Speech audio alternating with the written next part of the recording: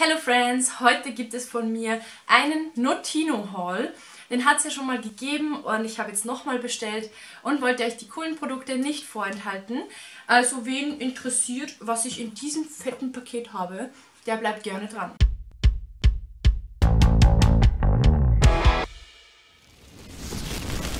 Also ich sage es gleich mal vorab, ich habe viele Lippenstifte gekauft viele Paletten gekauft. Also ja, da ist auf jeden Fall für die Beauty Freaks etwas dabei.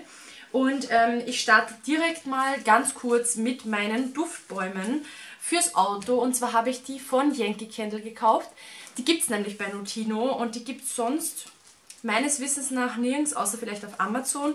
Da habe ich zweimal Black Coconut gekauft, zweimal Pink Sands, den Duft, einmal Shea Butter und einmal Black Cherry. Das heißt, ich habe sechs Duftbäume gekauft, die kosten jeweils 3 Euro und da komme ich lang damit aus und ich werde meiner Schwester, also Chrissy, wenn du das siehst, du kannst dir den Cherry oder den Shea Butter aussuchen, gibst mir halt noch Bescheid und die anderen sind für mich. Dann mache ich auch direkt weiter mit Paletten und zwar habe ich mir da Lidschattenpaletten von Make-up Obsession gekauft. Ich weiß nicht, ob ihr diese Marke vorher schon kanntet. Ich kannte die vorher schon, denn ich habe die auf der Glow, also die hatten auf der Glow einen Stand letztes Jahr. Und ich habe mir da zweimal die Be Obsessed With Palette gekauft. Und die sieht so aus. Also die Verpackung ist so silber und auch das Innere von der Palette ist silber. Die habe ich zweimal gekauft. Und ähm, da sieht man hinten schon so ein bisschen die Farben. Und die Palette sieht ganz genau aus wie die Hülle. Und wenn man die öffnet, also die hat auch einen Spiegel. Und das sind die wunderschönen Farben. Ich musste die haben, die ist einfach so toll und am besten gefällt mir dieser Ton hier und dieser. Also so in Kombi und ähm, das sind einfach solche wunderschönen Töne. Und ich zeige später auch noch einen Lippenstift, der da sehr gut dazu passt. Und ich muss es mal ausprobieren, da können wir ja mal einen Look damit schminken. Äh, wenn euch das interessiert, dann stimmt gerne hier oben ab. Und als nächstes habe ich noch die Be in Love With Palette gekauft. Und zwar sieht die Verpackung wieder genauso aus wie die Palette selbst. Und die hat so schöne Nude-Brauntöne drinnen. Und wenn man die aufmacht, sieht sie so aus. Hat auch wieder einen Spiegel. Auch so richtig schöne Brauntöne. Dann habe ich auch noch von Make-up Obsession, ähm, weil ich die Marke einfach wirklich cool fand auf der Glow. Und jetzt wollte ich einfach nochmal diese andere Palette testen. Das ist die Warm Up und die hat so schöne Rottöne drinnen. Als hätten wir nicht alle schon so viele. Aber ja, finde sie toll, ich will sie probieren und ganz ehrlich Leute, die Produkte sind nicht teuer. Und dann habe ich noch dazu genommen von Make-up Obsession das Pure Bake Baking Powder. Das sieht so aus. Das hat, ah, es ist cruelty free and vegan. Ganz wichtig, auch vegan, weil, ähm, ja, ich habe mich immer gefragt, was es dann genau heißt, aber zum Beispiel, ich weiß nicht, ob ihr den Stoff Karmin kennt. Das sind zerquetschte Läuse, Real Talk. Und äh, in manchen Rottönen ist dieses Karmin drinnen und ich wollte mir ja von Hattie die Palette kaufen, weil ich die so cool fand. Die, ähm, also eigentlich beide, die Day und die Holy Palette.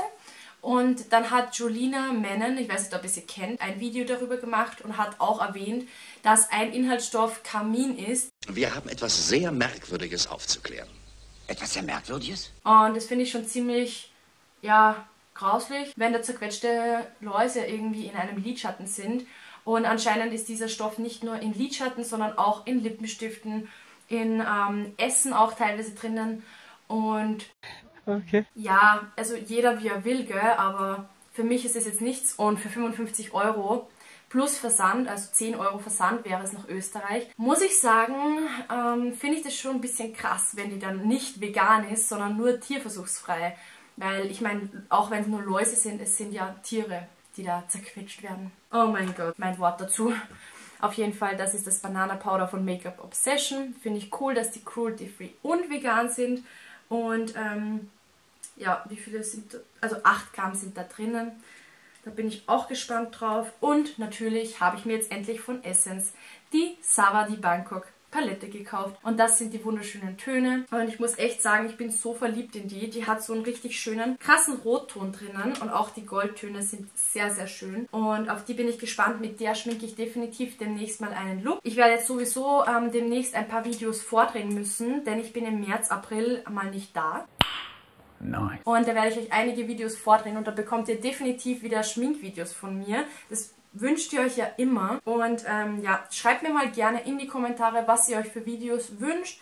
Ich würde dann gern ein paar Looks, ein paar ähm, Ideen abdrehen wie Q&A oder was euch so interessiert, schreibt es einfach gerne in die Kommentare. So Leute, dann habe ich von Brush Art einen Pinsel dazu bekommen und das ist wirklich so ein richtig cooler Make-up-Brush, ein großer und der ist so rosa. Also rosa ist jetzt nicht so meins, der glitzert auch so ein bisschen. So, und jetzt geht's weiter mit Lippenstiften. Und Leute, da habe ich einige gekauft, weil da war auch so irgendeine Aktion mit gratis Versand ab 25 Euro Lippenstift. Diese ähm, sechs Lippenstifte habe ich gekauft und ich zeige sie euch jetzt mal. Und zwar habe ich drei von NYX.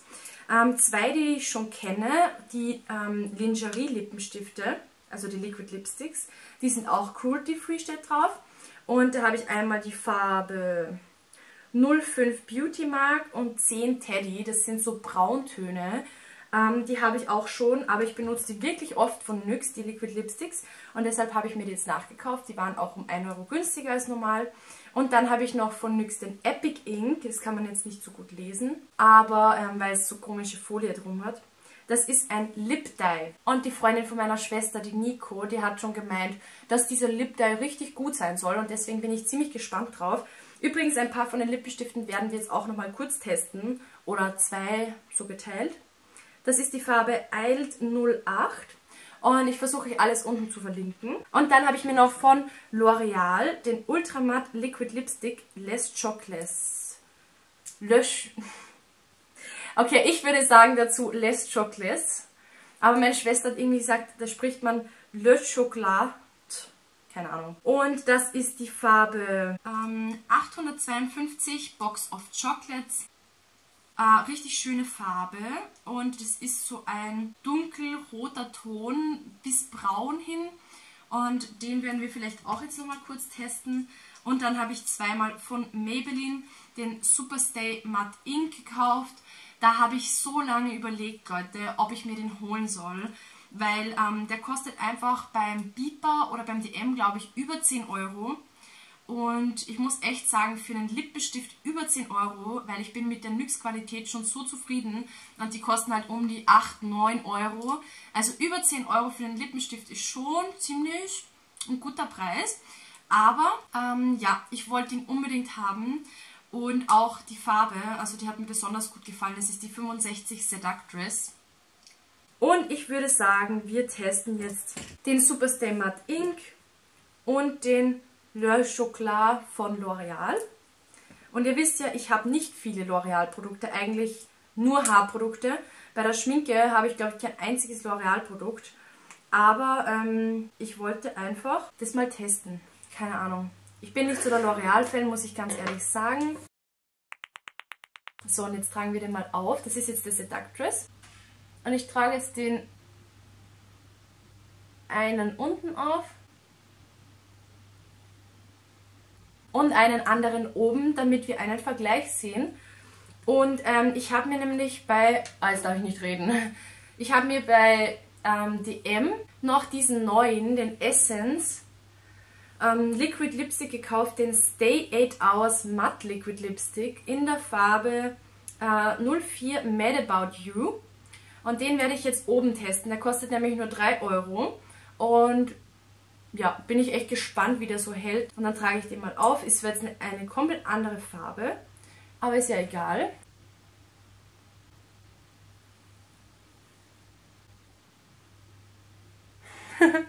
Ich merke gerade, es war nicht die beste Entscheidung, zwei Farben zu nehmen. Jetzt muss ich warten, bis es antrocknet. Aber ja, schauen wir mal. Nein, doch. Und jetzt werden wir dann gleich mal schauen, wie die getrocknet aussehen und ob die schön matt werden. Und inzwischen, bis die getrocknet sind, zeige ich euch noch von Balea ähm, ein neues Produkt, was ich von DM noch gekauft habe. Ich war nämlich tatsächlich im DM und habe nur zwei Sachen gekauft. Unter anderem diesen neuen Liquid Lipstick, weil den wollte ich unbedingt. Und dann habe ich mir noch dieses Set mitgenommen. Und zwar ist es so ein Honey Set mit Handpeeling, Lippenpeeling und Bodypeeling. Und da bin ich so gespannt drauf, weil von Balea die Peelings mag ich ja ganz gerne, also die Duschpeelings. Und deswegen bin ich da gespannt. So Leute, und jetzt zeige ich euch das Endergebnis. So Leute, und jetzt seht ihr das Endergebnis. Und zwar habe ich hier unten den Seductress und hier oben den 04 Mad About It oben. Und ich habe sie auch nur aufgetragen und nicht so gemacht, dass sie sich nicht vermischen. Also obwohl ich sie nicht vermischt habe, sehen die Farben irgendwie trotzdem ganz cool aus, keine Ahnung. Ähm, der oben ist auch schön angetrocknet, der macht aber so ein bisschen Lippenfältchen und ich habe eigentlich keine Lippenfältchen, also dass sie so hervorschauen. Und der unten ist wirklich sehr, sehr schön deckend und das soll ja auch so lang halten. Und da bin ich jetzt mal gespannt. Ich schreibe euch dann rein, wie sie ungefähr bei mir gehalten haben. Wenn euch das Video gefallen hat, lasst mir gerne einen Daumen nach oben da. Und wenn euch solche kurzen Live-Tests auch gefallen, wo ich einfach nur schnell ein, zwei Produkte so ausprobiere, damit ihr eine Review bekommt von mir, dann schreibt es mir gerne unten rein. Und wie gesagt, eure Ideen, denn ich werde ein paar Videos vordrehen. Ihr könnt auch irgendwelche Videowünsche raushauen, die ich auf meinem Kanal vielleicht noch nie gemacht habe. Ich bin da sehr offen für eure Vorschläge. Und übrigens, die Blumen da hinten, die habe ich zum Valentinstag geschenkt bekommen. Und ich wollte sie nochmal mit ins Video nehmen, weil ich habe sie jetzt schon eine Woche zu Hause und die werden leider schön langsam nicht mehr so schön. Also die roten sind schon weg, die habe ich schon weggetan. Aber ich dachte mir, so einen schönen Blumenstrauß den kann ich doch mal mitnehmen ins Video. Und der riecht so gut. So Leute, dann sage ich wieder danke fürs Zuschauen. Hab so einen komischen Zopf, Sonntagsstyle. Aber ich hoffe, euch hat das Video gefallen. Ich wünsche euch eine wunderschöne restliche Woche. Denn das Video kommt ja hier Mittwoch online. Und dann sage ich danke fürs Zuschauen und sage Tschüss.